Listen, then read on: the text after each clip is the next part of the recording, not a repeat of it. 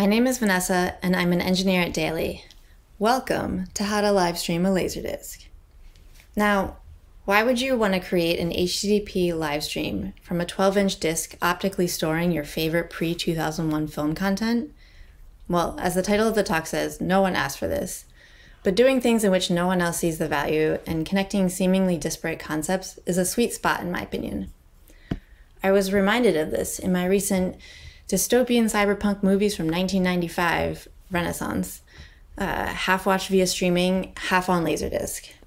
There is a lot to unpack in all these films, but my takeaway from Ghost in the Shell was this line about how there's always more than one way to view a situation, and overspecialization breeds weakness. Put in less menacing terms, it's something different.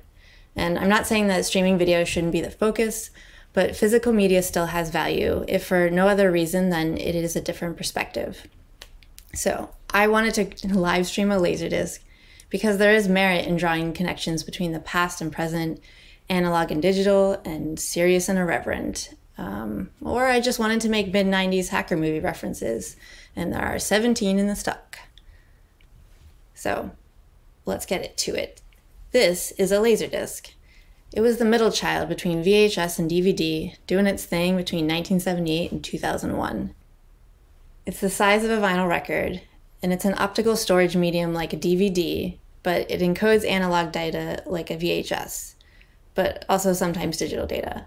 So, quick definitions an analog signal is a continuous waveform, a digital signal is a series of discrete values, an optical storage is essentially just a record of tiny busted mirrors called pits and lands that are read by a laser and can convey two symbols, on or off.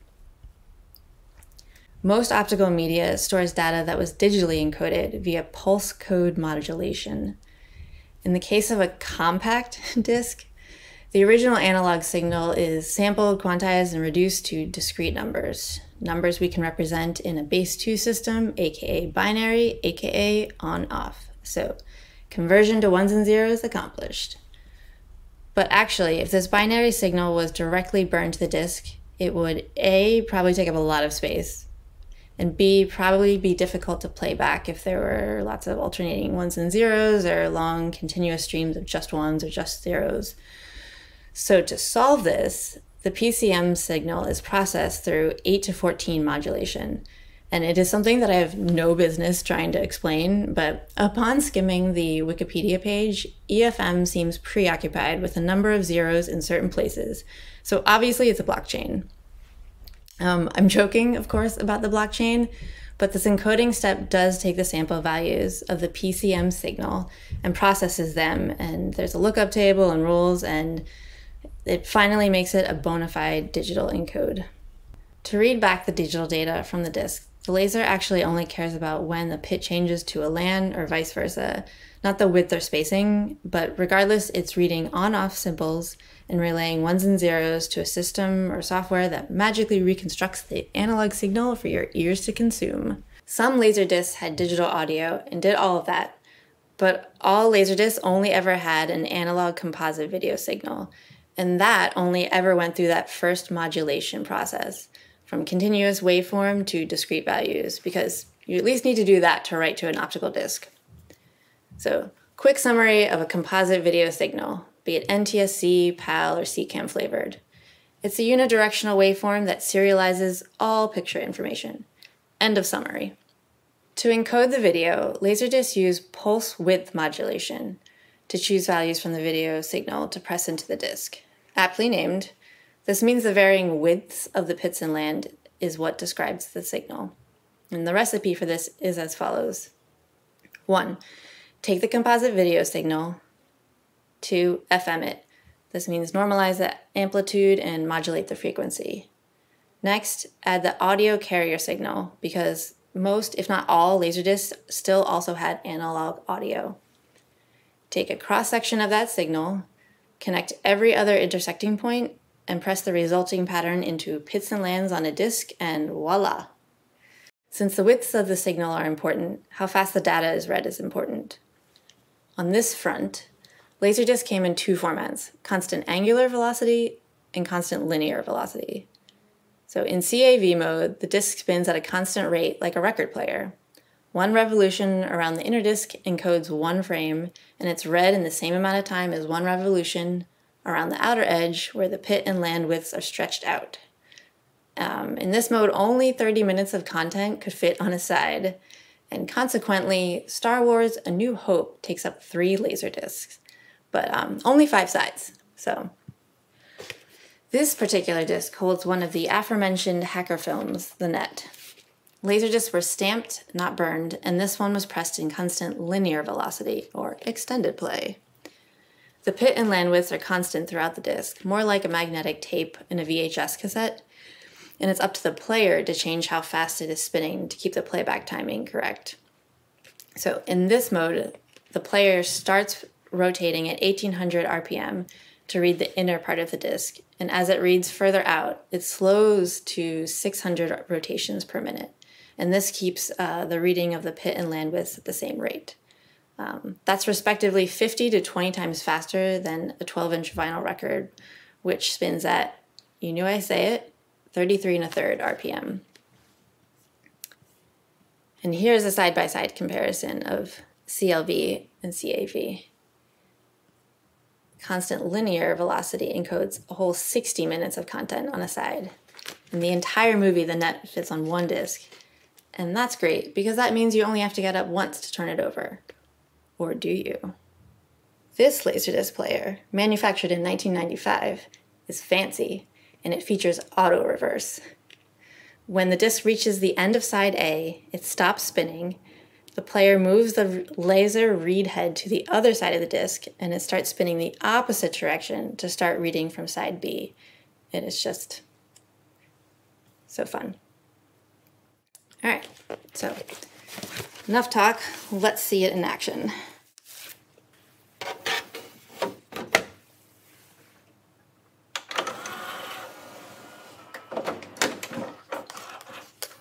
turn on the monitor just real quick to show that there's picture. Great, there's picture. I'm also going to skip ahead to second to last chapter so that hopefully we'll be live streaming when the disc switches from side A to side B. When I began this project, I had Laserdisc, a player, a whole mess of cables, and a laptop. But it definitely took a few more things to turn this delightfully archaic media into something that the internet actually understands. Device 1, A to D. Convert the analog video signal to a digital one, specifically a high definition multimedia interface one, which I think of like this.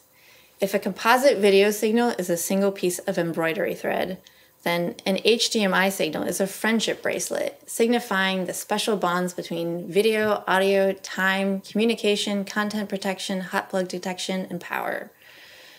Now, extending that analogy, this A to D converter is essentially my bunkmate on the last day of summer camp. And if you think that sounds silly or inaccurate, you haven't seen the crypto dolphin in Johnny Mnemonic recently. Device 2 Capture the HDMI signal. And to that end, I acquired an HDMI to USB C capture card. And now we have a stream of images.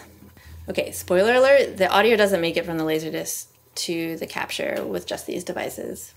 I had tried some things, they didn't work, but thanks to a discussion with coworker Phil, he suggested that I make like a podcaster and pointed me to a streaming audio interface. And at that point, the hardware acquisition for this project was a bit much, but sunk cost bias dictated the purchase. So here we are. And we will plug in separate audio stream capture. And since we're adding as many converters as possible, uh, I'll connect the audio via the Laserdisc player's headphone jack because it has a headphone jack. Uh, and I also already had the eighth inch to quarter inch uh, aux adapter. So now we're ready to do this. And we're kind of switching for metaphorically speaking to side B of the talk. And it's a lot of APIs and protocols from here on out. This is a demo live streaming app just running locally on my machine. It consists of boilerplate daily code, and because working at Daily has its perks, access to our beta RTMP encoding feature. And I have this feature turned on for my subdomain. So all I need to do is create a meeting room and an owner token for said room. And first though, let's give this room a name. Planet. Uh, yeah, that's good.